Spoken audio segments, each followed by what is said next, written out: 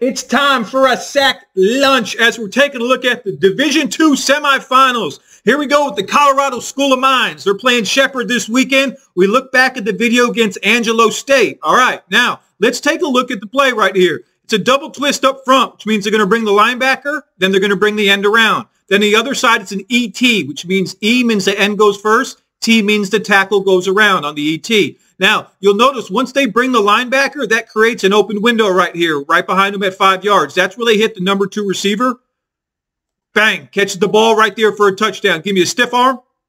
Go, there it is. Z, receiver, excellent job blocking. But let's take a look at the protection up front, okay? You'll notice on this twist right here, the linebacker is going to come first, number nine, all right? What you're trying to do is try to, on the defensive side, is get this left guard to get his eyes off you turn his shoulders, and then bring this end around right in the A-gap, okay? But it's excellent job by the left guard. This is getting coached by Tim Brandon, the offensive line coach at the Colorado School of Mines. This is repetition right here.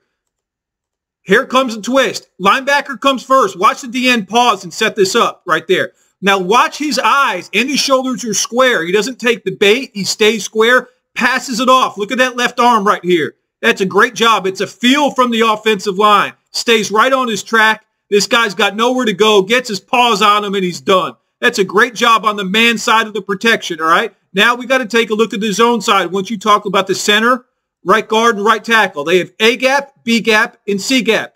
It's an ET, right? E, N goes first, T, tackle goes around. Watch the end. He goes first. Right guard is square. His hands are inside. Punch right there. Now look at the tackle. The right tackle's left hand is free. See how he feels it right here? doesn't take the bait. His eyes are locked on. His shoulders are square. Now give me a pancake, big fella. Put him on the ground. Great job. Off to the races for a touchdown. Stiff arm and a block. Great job by the offensive line. That takes reps. That doesn't happen the first day at camp. That's over and over again. Here's your double slant. The window is open because they brought the linebacker. Offensive line with the protection. Follow us on all of our platforms at Sack Lunch Football.